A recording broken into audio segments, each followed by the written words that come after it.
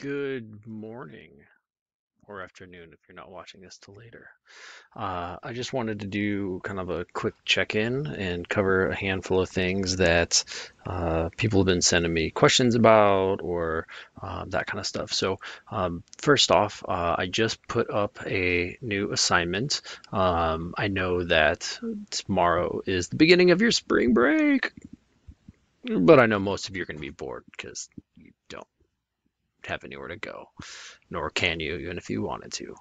Um, and so this assignment, I wasn't, um, you don't have to start it over spring break. I just wanted to give you information so that way if you wanted to kind of get started with it, um, you're more than welcome to just to kind of give you some something to do and some information and that kind of stuff. So, um, so the assignment essentially is going to be documenting the world that we're currently living in. And so one of the big questions is how does a photographer document one of the most significant shared human experiences in our recent history? Right. Um, so in here, there's a handful of different um, kind of uh, slideshows of different uh, photographers that have taken pictures from around the world um, locally, so like Duluth, um, and and in the Twin Cities, right? So, you know, as you notice, like some of them are inside some of them are outside. Um, so here's the thing, like rule number one, you have to be safe, right? You're not allowed to put yourself in harm's way. Uh, you have to stay away from people. Do not touch stuff. Wash your hands. And if you do go outside, communicate before, during, and after with your parents slash guardians, right? Like this like you can do this entire project inside your house without any problem. Okay. Um, if you are going out on walks and that kind of stuff, great. You know, document that kind of stuff too and the stuff that's around you. Um, but like I said, be safe. The whole I don't want you getting in harm's way. Okay be safe. I don't know if I can say that enough times.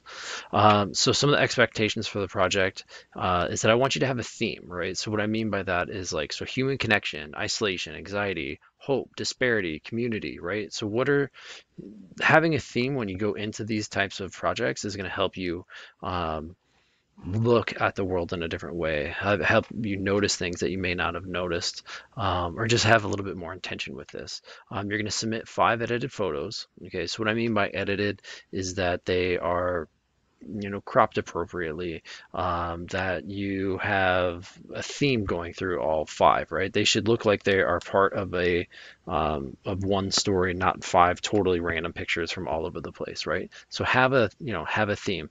Uh, are they all going to be in black and white? Are you are they all going to be tinted, cool, uh, high contrast, bright, muted, etc. Okay, um, I want you to have a solid understanding of composition. So you know, think about rule of thirds, leading lines, balance, emphasis, space, any of those things, right? So all of our pictures just kind of have that rule of thirds kind of concept and feel um, to them, or have that in, you know somewhere in your mind. Uh, so I want them submitted through Schoology um, with a minimum resolution 150 pixels per inch, right? So that's like a medium size. You know, the the higher the quality, the better. Um, honestly, if you're not sure, like, how do I know? Uh, you know, look at at your file size, right? They should be at the very least one megabyte. Um, as far as camera options, whatever you have access to, right? Uh, editing software. So that's one of the big questions that people kind of keep shooting towards me. Um, is that there's a lot of different options, right? So if you have uh, Photoshop or Lightroom available, like at home on your um, computer, great. Okay. Um, actually, if you have a uh, computer at home.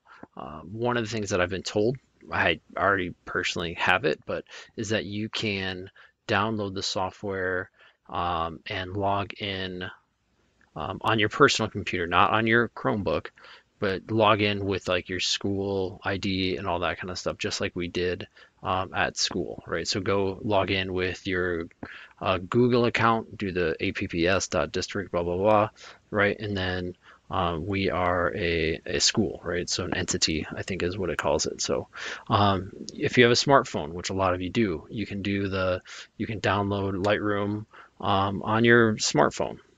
Okay, that works for iPhones, that works for all the different options out there. Um, Lightroom on the Chromebook, for some people it's working, for some people it's not. Okay, um, I, I don't I've reached out to them a million different times and they don't have a good answer. So sorry. Um, Snapseed on your Chromebook, that works pretty well. Um, I've kind of played around with it a little bit. Uh, Pixlr on your Chromebook also works pretty well. Or just using like your phone in general. Like, but I want you to use uh, your adjustments and that kind of stuff to have, you know, rather than just throwing a filter on top of this stuff. Okay, so that's kind of the assignment. Um, it's you're gonna have basically like two weeks um, after spring break to get this thing done. And so let me see if I can. Oh, where's my calendar? Oh boy. Of course, it's not showing up now. Um, if you if, let's see, so today is Friday, spring break.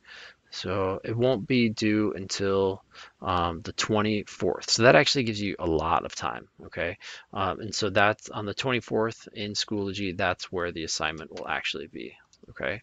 Um, some just additional resources. If you're like, oh, Nelson, I'm not sure about com composition, boom, right here. Three different websites kind of talking about that stuff. Um, different articles about uh, photographers, that kind of stuff during the COVID-19 crisis, some of the stuff other people are doing go in here, check it out. Okay. Um, other potential resources that are just or just things that are kind of interesting um, is that there's this organization that is doing like a COVID-19 archive so you can go in here and you know kind of flip through some of this stuff. This is definitely a little bit more artsy and that kind of stuff. Um, this is just a really kind of a cool thing anyway. So COVID-19 photography for teens. And so this is actually a website started by a student um, out in Seattle. And every single week um, they have a different theme.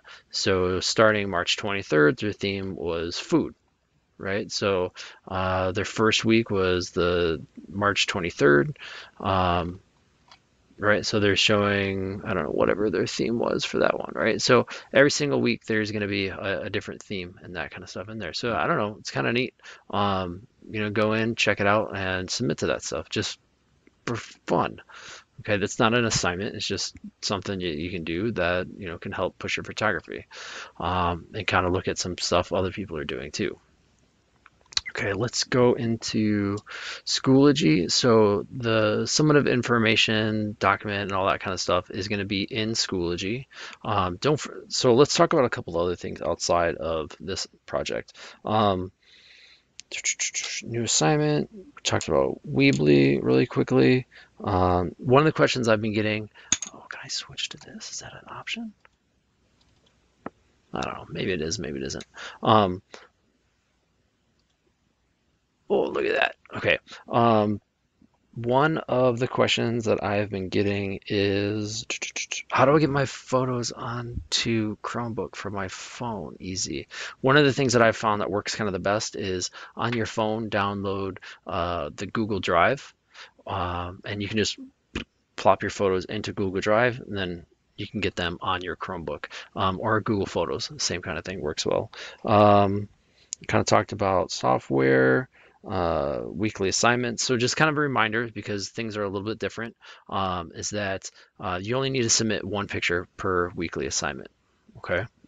Uh, check-ins and discussion boards. So every single B day, you're going to have two options.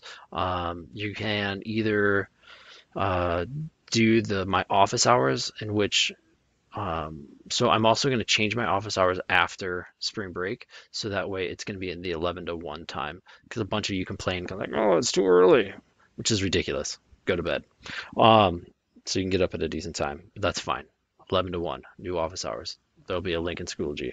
Uh, discussion board. So every single Friday, um, I want to see you putting up something that you've been working on, right? This is not a graded thing. It's just one of those things that I want, like, I want you to be checking in with me. I want to see what you're working on, right? Um, so take whatever projects, whatever pictures, any of that kind of stuff that you've been working on, put them up there. It's a kind of a cool way to, for other people to kind of see what you've been doing um, and you checking out what other people have been doing too. And then, so that's on Friday. And then on Wednesday, like I said, do the office hour check-ins, or there, every week there'll also be a um, like a new question or something like that on um, Flipgrid. So if you're like, if you don't catch me during my office hours, go to Flipgrid, and you can go that way as well. So that is what's going on. I think I covered all of the big picture questions. Um, if you do have more questions or any of that kind of stuff, shoot me an email. Uh, check with me during my office hours. Send something through Schoology, whatever. I've been, um, you know, I'm just like you guys. I'm kind of sitting around getting some stuff done, so I should be responding pretty quickly. So I think that's it. Have a good spring break. Stay sane. Wash your hands, uh, and be nice to each other. Bye.